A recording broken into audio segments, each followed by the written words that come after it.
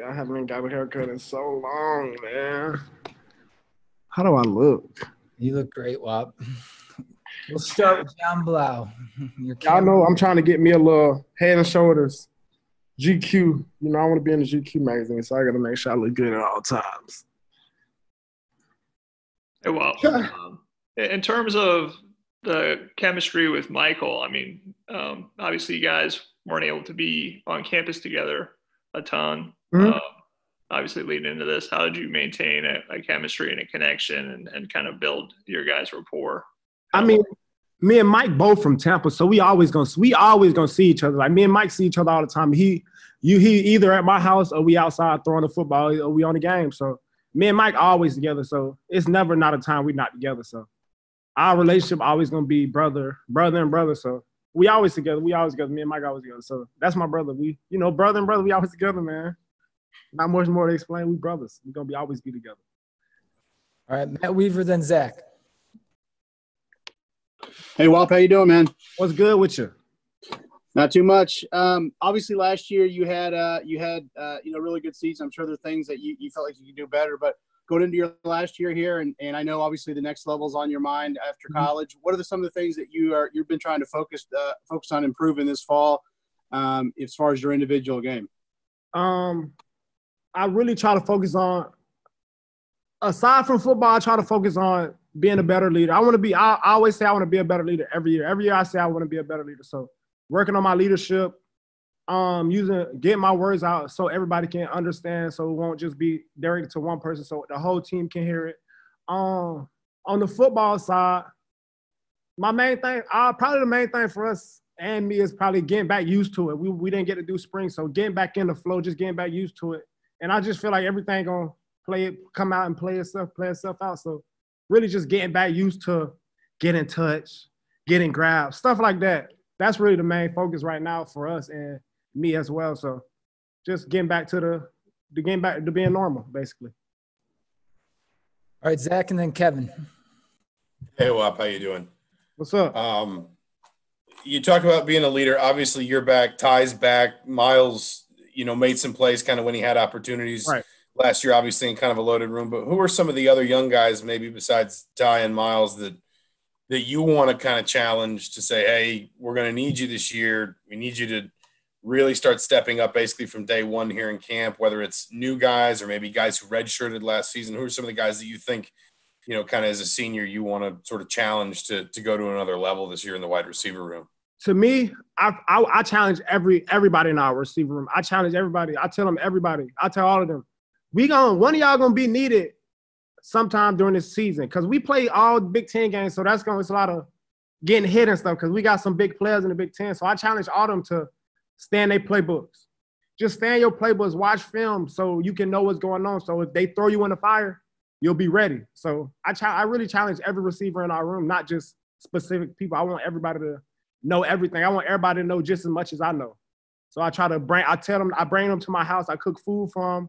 Then we watch film. We um, go over the play. So I challenge all my receivers. I challenge everybody in the receiver room to know everything so we can, so they can be ready whenever. Kevin Dylan Wallace.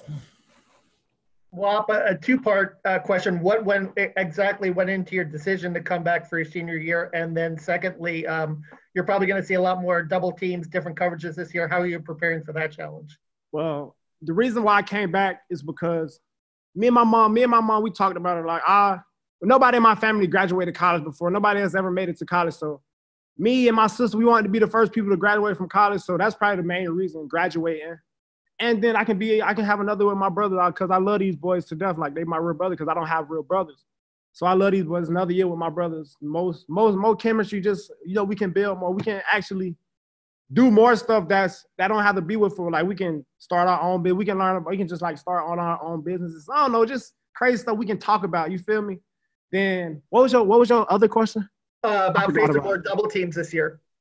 Uh, well, if, if I'm getting double teamed, I mean somebody else getting the ball. So I'm gonna spread the wealth. Guy. I want to see everybody balling. I want to see everybody doing their thing. So if they double cover me, somebody gonna be Fry gonna be open. It might open up the run game for Stevie. It might open up for Miles, Deshaun, Rayshawn. Like it's anybody. I just want I just want to see people succeed. So the ball finna get spread a lot this year. So I'm happy. I'm happy, man. I'm happy. I'm happy. I'm so happy. You don't understand. I'm so happy. I'm y'all don't y'all if y'all could be in this room with me, y'all just see how much I'm like shaking and stuff because I'm so happy football back.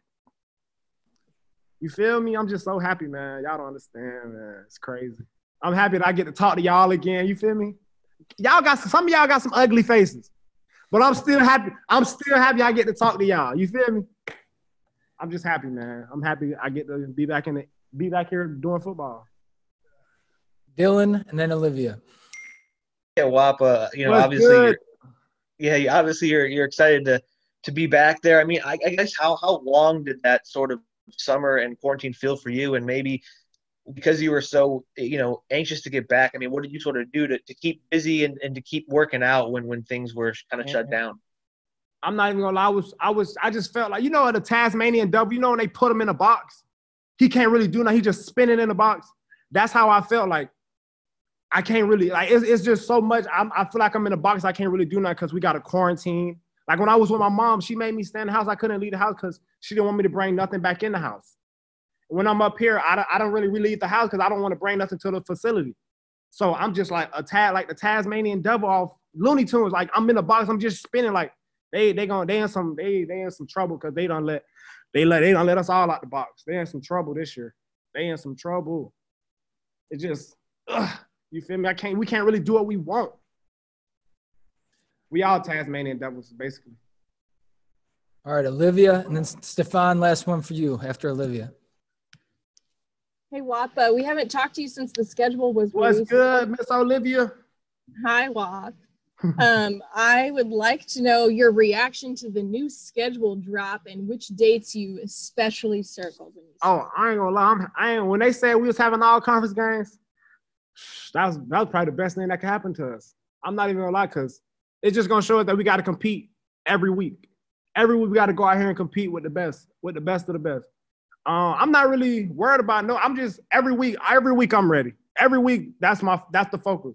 The next week, the next week, every week. So we ready for we ready for whoever whoever want it, they gonna get it. Whoever. All right, Stefan. Last question, bud. Hey, Whop, I know Oh, you've good.